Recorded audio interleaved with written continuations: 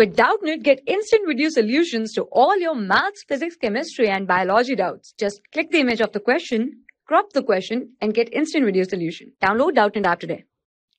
Hi students, in this question, Arun bought a car for rupees 3 lakh 50,000. The next year, the price went up to rupees 3 lakh 70,000. We have to calculate what was the percentage of price increase.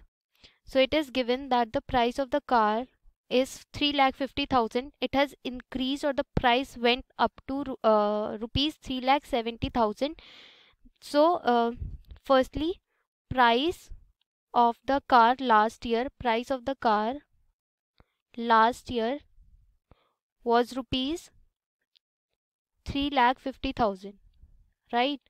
And now the price went up to rupees 3 lakh 70,000 so price of the car in the current year or this year is rupees 3 lakh 70,000 right? So increase in price would be increase in price would be the price of the car this year minus the price of the car last year.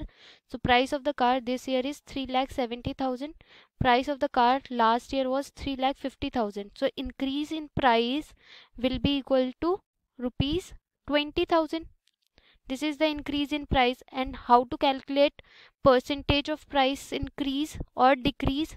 That the increase or decrease in the price divided by the price of the car last year right into 100 multiply by 100 so percentage percentage of price increase percentage of price increase will be equal to increase in price is rupees 20000 divided by the price of the car. That was in the last year. So it was 3 lakh 50000 right?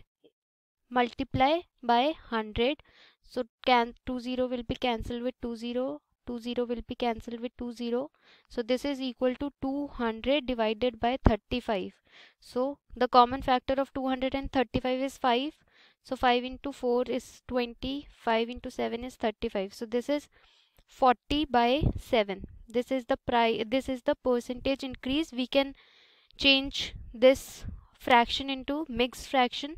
So 7 into 5 is 35 5 carries. 5 is the remainder and 7 right so percentage increase in price of the car is 5 5 by 7 percent For class 6 to 12, IIT JEE and NEET level.